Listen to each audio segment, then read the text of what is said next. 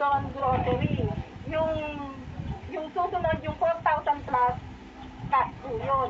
Kaya po, mamili po kayo kung sino sa inyo yung tatlo, saka yung tatlo, total ginawa ko kayo siyam, tigta tatlo kayo. Pagkakasihan niyo yung 4,000 plus, saka yung lottery. Kasi yung layo. O, sa bawat tatlo. Gusto niyo po, meron o wala? Basta meron, wala. Basta wala,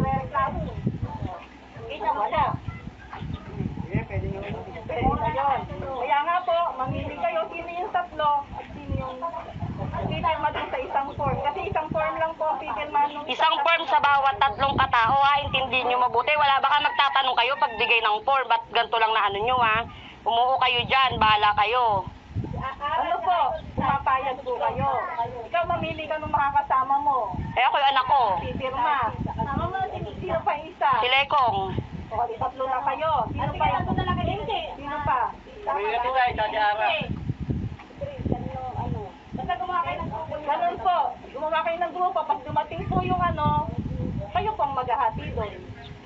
Ganun po. Nakakasama mo si Chris, pati Ika na lang. Ika. Para po lahat kayo magkaroon. Okay po ba? Kesa po hindi, wala naman. Kasi mahihirapan po ako kung lahat kayo bibigyan ko. O kasi ang ina ang inaano ng tao, yung napapanood nila sa TV na lahat meron, 'di ba? So, yun ang inaasahan ng tao. At least sa bibig nyo na nang, nang galing na hindi totoo yung inano ni Digong. Meron na ako. Kaya po, ganun ang mangyayari. Ano Oo. po ang ano nyo? Ay, si Kadigo pala. Hindi pala to four piece. Sige, hanap ka namin ng grupo. Tatlo-tatlo naman eh. Pag ano kay, hindi, baka kay Kadelma kasi kulang sila doon. Baka doon ka malagay. Teka lang, Kadigo. Okay na po sa inyo. Sino ho ang pipil up? Doon sa tatlong grupo. Let ikaw sa atin. Opo kayo. Dahil ka pumilat mo natin. Puro limbag ha. Limbag Ah, so so ang, da- ang tanong pa rin dito, kasama ba workers, kasama ba urban poor, kasama ba senior citizens? Opo, pero per household po ito. Yung 5 to 8,000 po, lahat po ito. I'm not talking about, kasi po may senior citizen din na ubod ng yaman ha. So kung ikaw po ay ah, senior citizen, pero nandun ka sa 6.6 million Filipinos na nakakaangat sa buhay sa ating bansa, hindi ka kasama. Pero kung senior citizen ka na walang income at you belong to the 18 million Filipino Filipinos po that need help, ah, definitely po ah, kasama po kayo, no?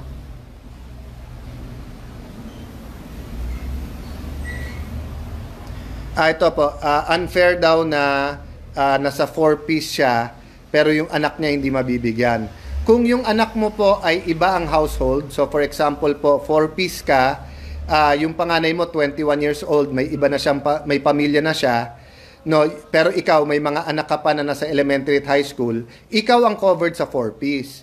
So kung ang natatanggap mo sa 4 piece ay 2,000, dadagdagan po ng 6,000 yan sa inyong cash card.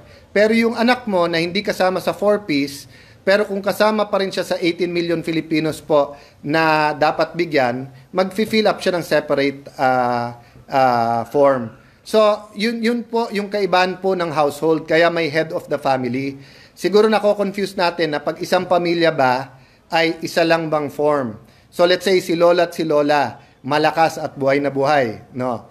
Tapos may anak sila, lima. Yung isa na lang po 18 years old. Yung isa 23, yung isa 25, yung isa 30, yung isa 35. Yung apat may pamilya na, no? So, yung pong anak na bunso at si lola at lolo, yung po ang isang household.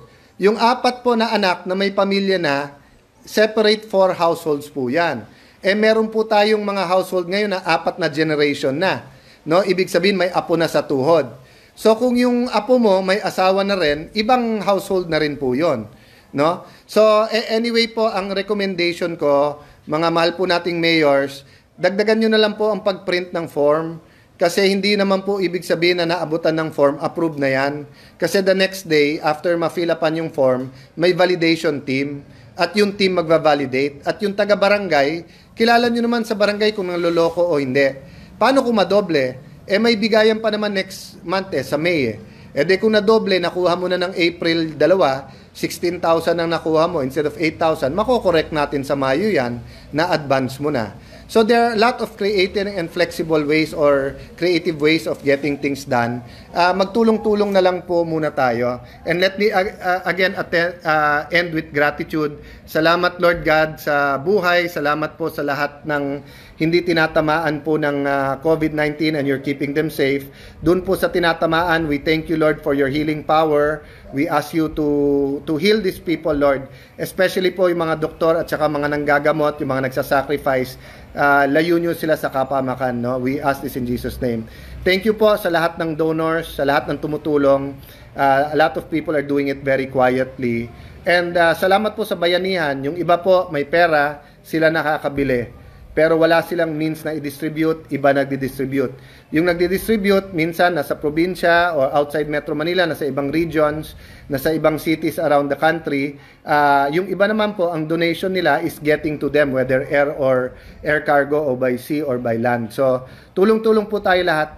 Magandang gabi po. God bless you all. Salamat po sa pag-tune in nyo po at ah, sana po nakakatulong po ang ah, mga updates ko sa inyo. God bless sa mga kasamahan ko po sa 18 Congress. God bless you. Continue working hard.